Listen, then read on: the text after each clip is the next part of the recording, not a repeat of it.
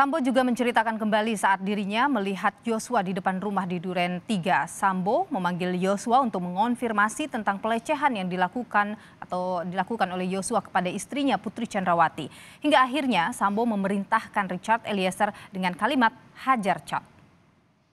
Perjalanan dari rumah Saguling, pikiran saya terus berkecamuk dan semakin memuncak ketika mobil yang saya tumpangi akan melewati rumah dinas Duren 346 dan melihat Yosua berdiri di depan rumah.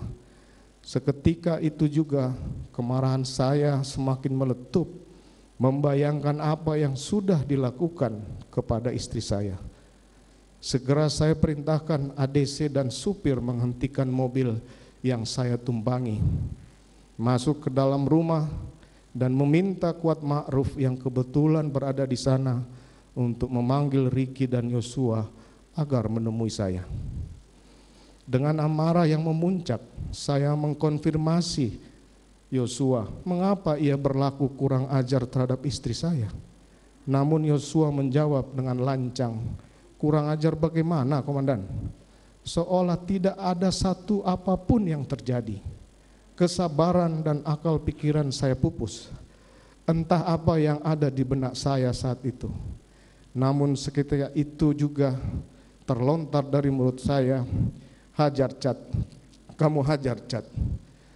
Richard langsung mengokang senjatanya dan menembak beberapa kali ke arah Yosua. Peluru Richard menembus tubuhnya, kemudian menyebabkan almarhum Yosua jatuh dan meninggal dunia. Kejadian tersebut begitu cepat. Stop, berhenti.